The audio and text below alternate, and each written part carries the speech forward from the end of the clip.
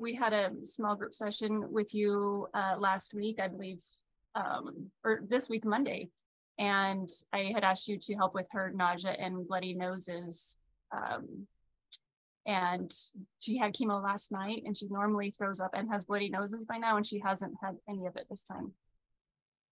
You're gonna make me cry. You make me cry.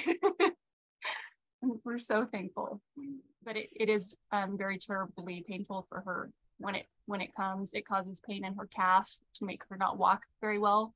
Um, and she says she has no pain right now. Thumbs up and a thank you.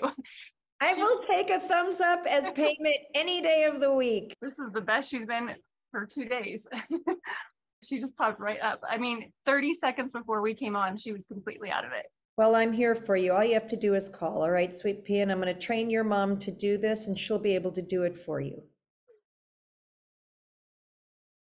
After radiation yesterday, I asked the doctor to check her CT scan. She gets one each week, and um, it had shrunk from last week after your healings. I knew that we had shrunk it when all of the pain went away in her right leg. Yeah, yeah. I'm crying with you.